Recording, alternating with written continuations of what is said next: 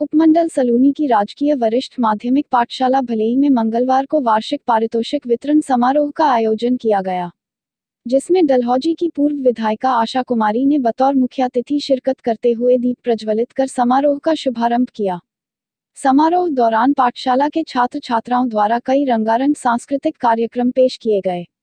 इससे पहले पाठशाला के प्रधानाचार्य गुरवचंद ठाकुर द्वारा मुख्यातिथि को शाल व स्मृति चिन्ह भेंट कर सम्मानित किया गया।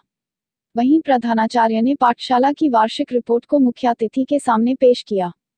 इस मौके पर एसएमसी अध्यक्ष, सदस्य, पंचायत प्रतिनिधि व स्कूल स्टाफ आदि मौजूद रहे।